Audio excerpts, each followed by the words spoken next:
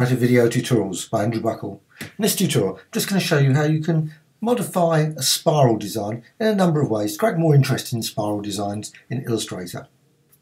Right, got a spiral here and I create spirals using the spiral tool. So you just create a quick spiral like that. You can modify the spiral in a number of ways. Just click on the artboard and then just modify for its decay radius. I'm not going to change that now. I'm just going to go with the default one.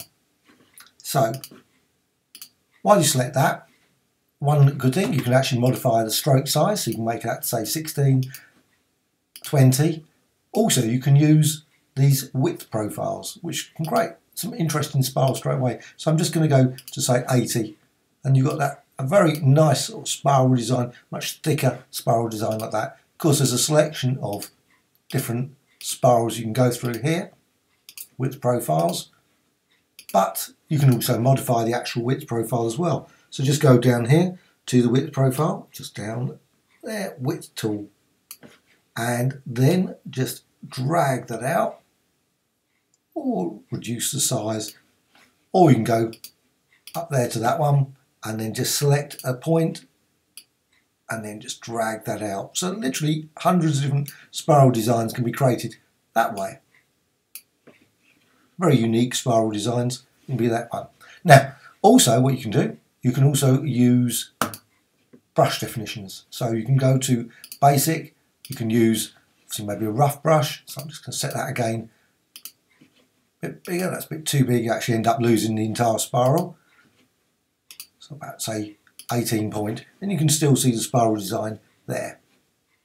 Now at this point I don't want to actually do that, so I'm just going to remove that. So just go up there, remove brush stroke, and just go back to this and set the size again to something a bit more visual. Now, also you can use the appearance palette to actually add to the spiral. So you don't have to keep it like that. You can actually go to window and appearance. Of course it's displayed there.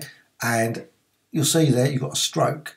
Just got a stroke set in 60 points. And what you can do is add a new stroke on top. Now, just goes to the default size. So you can just set it to say maybe another side. Just set that one and set that to blue. And you can see straight away you've still got much of spiral. Of course, you don't have to use it at 60 point. You maybe go to 20. And you've got this inner spiral and an outer spiral as well around there.